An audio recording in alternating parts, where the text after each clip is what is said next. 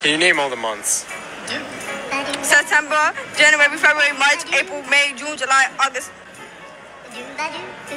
Yes. What country did we gain our independence from? We're Canadian. Russia. Yes. what is 53 plus 47? Oh my god. I'm a little slow for this. 50, Around what? 47? Yeah, yeah, 53 47. Hold on. 90, This is bad. 90, 910?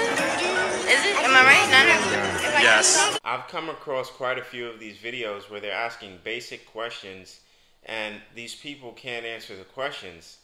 It's clear that people are getting dumber and I don't know any way to say it that's nice because that's what it is, right? The intelligence is going down. I'm wondering what's the cause? Is it the school system? It couldn't be because you still have smart people in schools. I would have to say it has to be social media that is dumbing people down. Well, specifically Gen Z, because you know they live with technology. It's their lives nowadays. I mean, there's barely any kids in the park anymore. This is a serious problem. We got to pray for this young generation because they're in a world that we don't even recognize right now.